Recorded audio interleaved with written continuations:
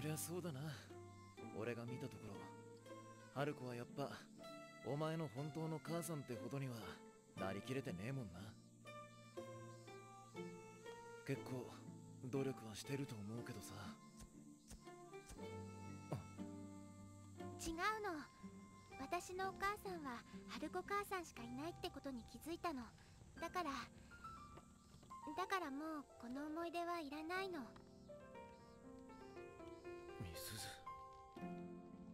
それにそれに私できちゃったんだ。本当に好きな人。ユキトさんのそばにずっといたい